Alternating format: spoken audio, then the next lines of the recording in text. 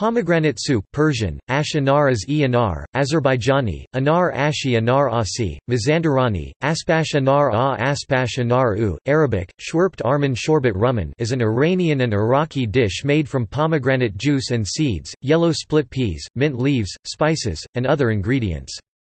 It is regarded an ash, which is the Iranian term for a thick soup.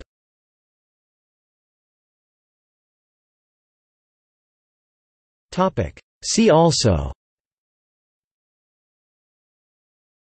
Ash, a genre of soup in Iran. List of soups